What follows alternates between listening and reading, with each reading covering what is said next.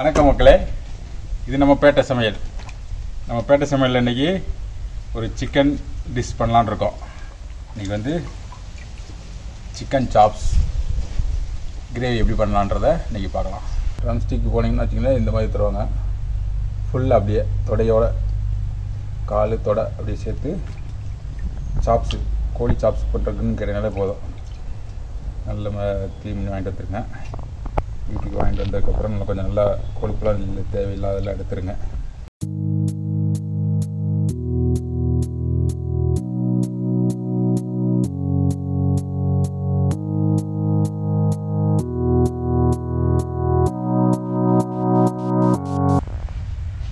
கழுவி வச்ச சிக்கனில் கொஞ்சம் அப்படியே மஞ்சள் பொடியை கொடுத்து எடுத்து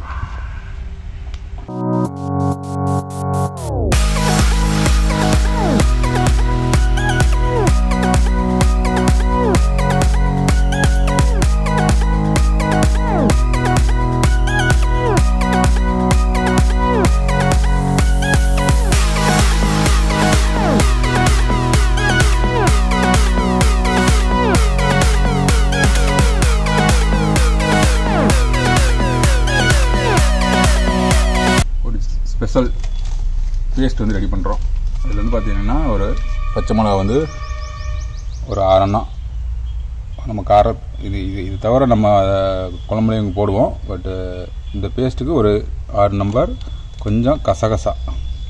ஒரு ரெண்டு டீஸ்பூன் வந்து கசகசா. கருவேப்பிலை. அதுதான் வந்து இங்கே ஒரு ஹைலைட்ஸு கருவேப்பிலை. இது மூணையும் சேர்த்து ஒரு பேஸ்ட் மாதிரி அரைச்சி வச்சுக்கலாம்.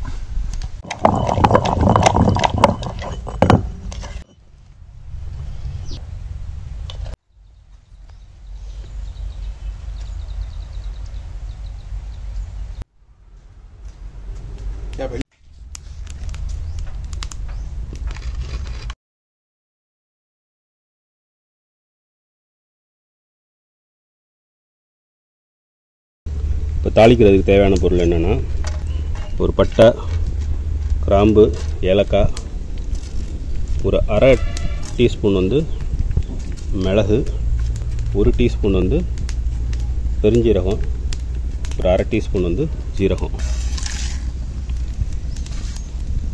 வெட்டி வச்சுருக்கிற சின்ன வெங்காயத்தை இதில் வந்து சேர்த்துடலாம்.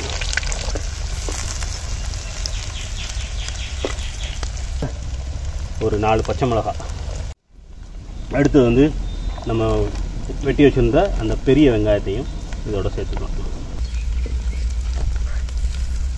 ஒரு ரெண்டு டேபிள் ஸ்பூன் இஞ்சி பூண்டு பேஸ்ட்டு. பச்சை மிளகா கருவேப்பிலை கசகசா பேஸ்ட்டு. இதை ஆட் பண்ணிடுவோம்.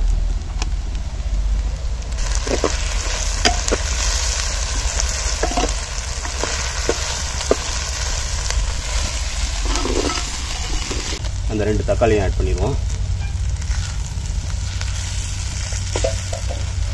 மல்லிப்பொடி ஆட் பண்ணிடுவோம். தேவையான உப்பு ஆட் பண்ணிக்கலாம்.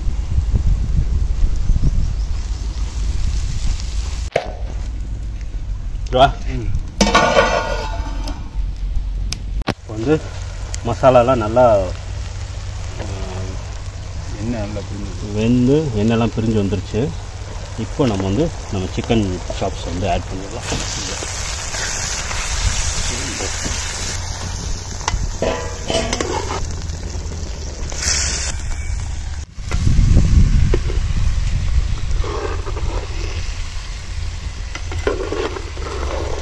வாசனைக்கு வந்து கருவேப்பிலை சேர்த்துக்கலாம் இல்லை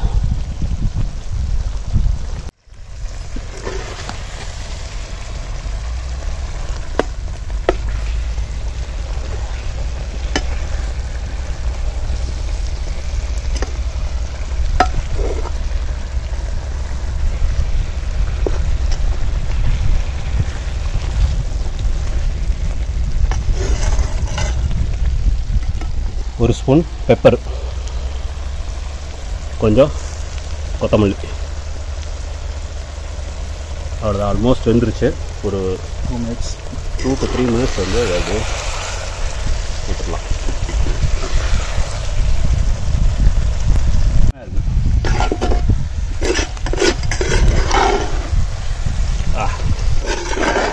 Wow.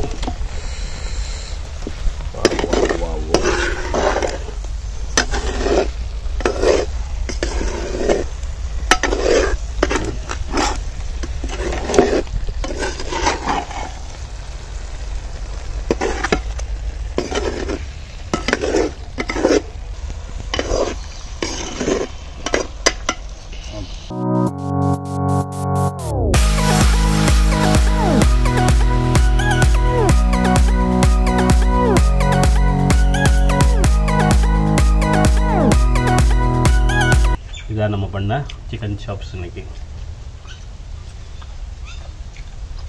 ம். நம்ம சேர்த்த அந்த மசாலா இருக்கு பார்த்தியா அந்த அந்த மசாலா தான் இந்த சிக்கன் சாப்ஸுக்கு ஒரு ஹைலைட்டே பாரு எவ்வளோ இந்த ரக்குடு கன்சிஸ்டன்சியில் எப்படி இருக்குன்னு பாரு. இது எதுவுமே நம்ம அரைக்கலை. அசட்டு அப்படியே போட்டு தான் பண்ணோம். மிளகு கூட முழு மிளகு. வெங்காயம் தக்காளி கருவேப்பிலை சின்ன வெங்காயம் போட்டோம் பெரிய வெங்காயம் போட்டோம் கடைசியில் வந்து மல்லி போட்டோம். எல்லாமே பார்த்தோன்னா அந்த சிக்கனோட சேர்ந்து ஒரு என்ன சொல்கிறது ஒரு கண்ட்ரி ஸ்டைல் சாப்ஸ் மாதிரி இருக்குது ம்.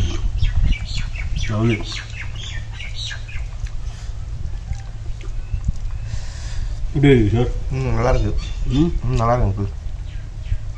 தயிர் சாதத்துக்கு வச்சு சாப்பிட்டோம்னா இன்னும் சூப்பராக இருக்கும். தயிர் இருக்கு. சரி சாப்பிடுவோம். அடுத்த ரவுண்டு தயிர் போட்டுப்போம். சிக்கன் வந்து ம். உடையாம இருக்கணும். இது வந்து நம்ம தனியாக சிக்கனை பாயில் பண்ணிலாம் பண்ணல எல்லா மசாலாவை வந்து நல்லா வதக்கிட்டு கடைசியில் தான் நம்ம சிக்கன் ஆட் பண்ணுறோம் ஆட் பண்ணி அப்படியே வந்து அதோட வேக வைக்கிறோம். அதுவும் நம்ம பண்ணியிருக்கிறது வந்து தை பீஸ் இது வந்து ரொம்ப சாஃப்டான வீடு சிக்கன்லேயே வந்து இந்த லோயர் பாட்டு இருக்குல்ல டை அண்ட் லெக் அதுதான் வந்து சாஃப்டான பாட்டு. அப்போ அது வந்து ஈஸியாக வெந்துடும்